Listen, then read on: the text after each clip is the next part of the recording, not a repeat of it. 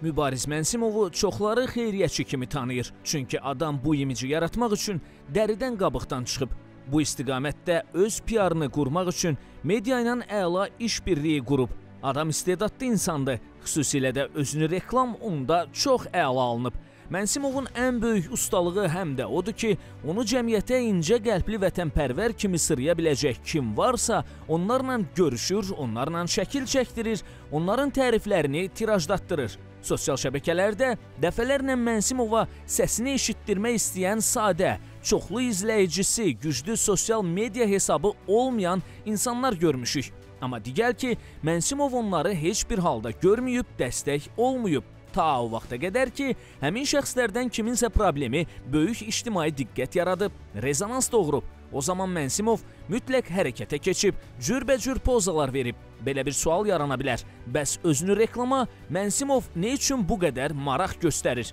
Əslində bunun bir çox səbəbi var, amma birini qeyd eləyək. Hal-hazırda Mənsimovun bir çox çirkin əməlləri ifşa olunub. Onun qaranlıq əlaqələri çoxlarına məlumdur. Bütün bunlara baxmayaraq, sadə insanlarda onun kirli işlərini görməyə elə də maraq yoxdur. Çünki insanlara özünü xeyriyyəçi, vətənpərvər kimi sıraya bilib. Deməli, özünü reklam Mənsimova maskalanmaq, ictimai dəstək qazanaraq lazım olan məqamlarda kütlənin dəstəyini işə salmaqla istintaq, məhkəmə, hökumət üzərində təzyiq yaratmaq üçün lazımdır. Necə ki, o bunu bir neçə il öncə Türkiyədə həbsdə olan zaman uğurla elədi. Bir insanı xarakterizə eləyərkən ilk olaraq o insanın dedikləri ilə əməllərinin nə qədər üst-üstə düşdüyünə baxmaq lazımdır. Bu baxımdan Mübariz Mənsimov yetəri qədər pis nümunə kimi göstərilə bilər. Misal üçün, onun ermənilərlə əlaqələri. Bu barədə çox yazılıb, çox danışılıb. Bir daha xatırlayaq. Mənsimov hər zaman ermənilərə mənfi münasibətindən danışıb, heç bir halda ermənilərlə iş görməyəcəyini bəyan eləyib. Amma bunun belə olmadığı dəfələrlə üzə çıxıb. O, müsahibələrindən birində şirkətlərində ermənilərlə qohumluğu olan birinin belə işləyə bilməyəcəyini demişdi.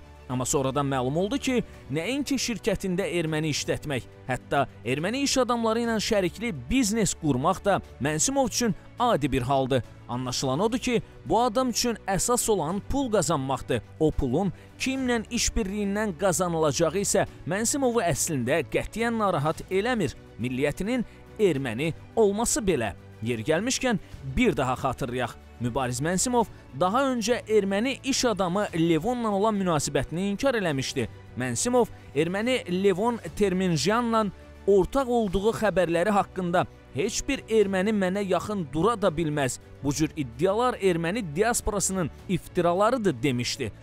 Levon Terminjan, Mübariz Mənsimov qurban oldu. Bundan başqa o şirkətimdə 3-cü nəsil erməni olduğunu eşitsəm, dərhal qovaram. Azərbaycanlı erməni ilə əməkdaşlıq eləyərsə, o Azərbaycanlı deyil, xaindir söyləmişdi. Ancaq bundan belə Terminjanın oğlu George Terminjan məhkəmədə Mənsimovun söylədiklərini yalanlamışdı.